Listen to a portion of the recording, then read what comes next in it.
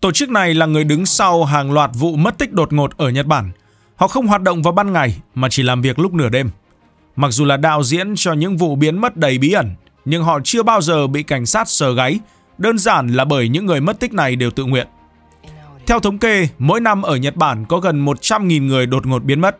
Họ không mang theo ví, không mang hành lý, cắt đứt liên lạc với tất cả mọi người. Gia đình họ cũng không báo cảnh sát, mà có báo cũng chẳng giải quyết được gì, vì những người này không tự tử, họ chỉ tìm kiếm một nơi để bắt đầu cuộc sống mới. Vậy vì sao ở Nhật lại có hiện tượng kỳ lạ như thế này? Các bạn hãy cùng chúng mình tìm hiểu trong video ngày hôm nay nhé. Các bạn thân mến, lý do khiến những người này chọn cách biến mất đột ngột có thể vì ly hôn, thất nghiệp, nợ nần, mối quan hệ phức tạp hoặc đơn giản là do áp lực công việc quá lớn. Họ đã nỗ lực suốt nhiều thập kỷ nhưng vẫn ở điểm xuất phát nên quyết định biến mất để tìm lại sự bình yên ở một nơi khác. Việc đột ngột biến mất này bắt đầu từ những năm 1990 khi Nhật Bản phát triển khả năng siêu nhiên này. Những năm gần đây, số người biến mất ngày càng tăng và một tổ chức kỳ lạ đã ra đời, công ty chuyển nhà ban đêm. Giống như một tổ chức đặc vụ bí mật, công ty này giúp khách hàng biến mất hoàn toàn, không chỉ chuyển nhà mà còn xóa sạch mọi dấu vết, thậm chí là còn cung cấp sự hỗ trợ về tinh thần. Người phụ nữ tên là Miho Saita là chủ của một công ty chuyển nhà ban đêm lớn nhất Nhật Bản.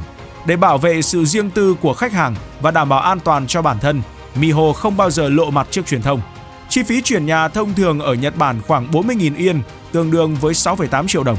Thế nhưng Miho thường tính phí từ 11,6 triệu đến 69 triệu đồng, thậm chí có những trường hợp đặc biệt lên đến 206 triệu đồng. Nhờ vào sự hào phóng của khách hàng, Miho đã kiếm được rất nhiều tiền. Lý do cô thành lập công ty này bắt nguồn từ người chồng của cô là Otomataro, một kẻ có xu hướng bạo hành gia đình. Ông ta thường đánh đập cô khi không vừa ý, nhưng vì thủ tục ly hôn rất phức tạp nên Miho đã buộc phải nhẫn nhịn. Khi tuổi càng lớn, mức độ bạo hành càng tăng, Miho nhận ra rằng cô phải nhanh chóng tìm cách trốn thoát, nếu không sẽ mất mạng dưới tay chồng. Cuối cùng cô quyết định lái xe bỏ đi, nhưng vì thiếu kinh nghiệm nên cô nhanh chóng bị Otoma bắt lại. May mắn thay không lâu sau đó, Otoma đã qua đời do bệnh tật. Để giúp đỡ những người khác cũng đang bị bạo hành, Miho đã thành lập công ty của mình, chuyên giúp đỡ những người bị bạo hành tìm cách thoát khỏi tình cảnh của họ. Với số lượng nạn nhân lớn, Miho nhận được khoảng 300 cuộc gọi mỗi tháng. Khách hàng của cô rất đa dạng và phong phú, nhưng một khách hàng gần đây có trường hợp phức tạp hơn. Cô ấy tên là Kaori, sống cùng chồng, con gái và mẹ già. Trên và dưới đều có người phụ thuộc, khiến cuộc sống của Miho trở nên khó khăn hơn. Để giúp cả gia đình Kaori rời đi an toàn, Miho đã lên kế hoạch di chuyển ngay khi chồng của Kaori ra ngoài làm việc. Nhưng Miho đã đánh giá thấp sự chuẩn bị của Kaori. Khi bước vào nhà, cô bị choáng ngợp bởi cảnh tượng với đủ loại hộp lớn nhỏ chất đầy trong phòng khách. Kaori thậm chí còn đóng gói cả tủ lạnh và máy giặt để hoàn thành nhiệm vụ trước khi chồng của Kaori trở về. Đội chuyển nhà đã nhanh chóng bắt tay vào làm việc, chỉ mất có 2 giờ để dọn dẹp mọi thứ. Ngày hôm sau, Kaori đã đến một thành phố khác để bắt đầu một cuộc sống mới. Theo báo cáo của truyền thông, có khoảng 1 phần 3 phụ nữ ở Nhật Bản gặp phải tình trạng bạo hành gia đình, nhưng chỉ có chưa tới 3% lựa chọn báo cảnh sát. Lý do vì pháp luật trừng phạt không đủ mạnh để ngăn chặn những kẻ bạo hành.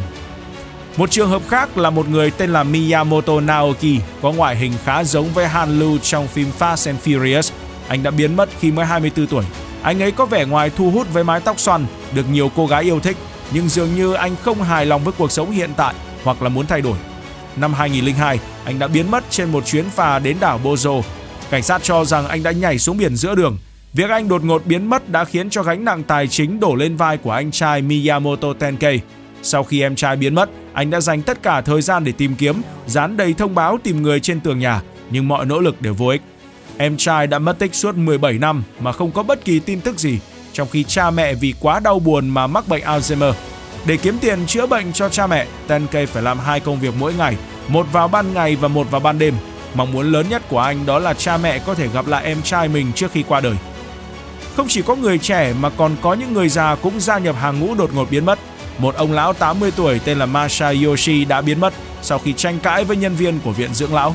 Ban đầu thì vợ của ông nghĩ rằng ông chỉ ra ngoài để thư giãn, nhưng một tuần sau bà Miyazawa phát hiện tài khoản của ông Masayoshi đã bị rút 200.000 yên, tương đương với khoảng 34 triệu đồng. Không còn cách nào khác, bà phải nhờ đến một thám tử tư nổi tiếng có tên là Kuten để giúp đỡ. Bà không chọn báo cảnh sát vì thám tử tư có chi phí hợp lý và hiệu quả hơn.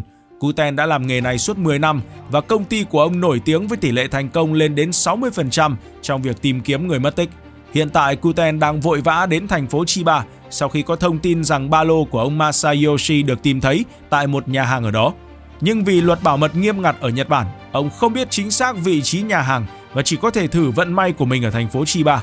Do luật bảo mật, việc tìm kiếm người mất tích ở Nhật rất khó khăn trừ khi có liên quan đến vụ án hình sự. Nếu không thì cảnh sát không thể truy cập bất kỳ dữ liệu cá nhân nào, ngay cả khi người đó đã qua đời. Lần này thì Kuten không may mắn. Sau 2 tháng tìm kiếm, ông vẫn không thu được kết quả gì. Bà vợ đang rất lo lắng nhưng không còn cách nào khác, chỉ có thể hàng ngày đến ga xe lửa nơi chồng rời đi để chờ đợi. Về hành động biến mất đột ngột này, mỗi người sẽ có một quan điểm khác nhau. Nhưng phải nói rằng mặc dù trốn tránh có vẻ xấu hổ, nhưng đối với nhiều người thì nó vẫn là một giải pháp hiệu quả để thoát khỏi những ràng buộc vô hình. Nếu bạn thích câu chuyện này, đừng quên ấn like và đăng ký kênh nhé. Chúng ta sẽ gặp lại nhau trong những câu chuyện tiếp theo.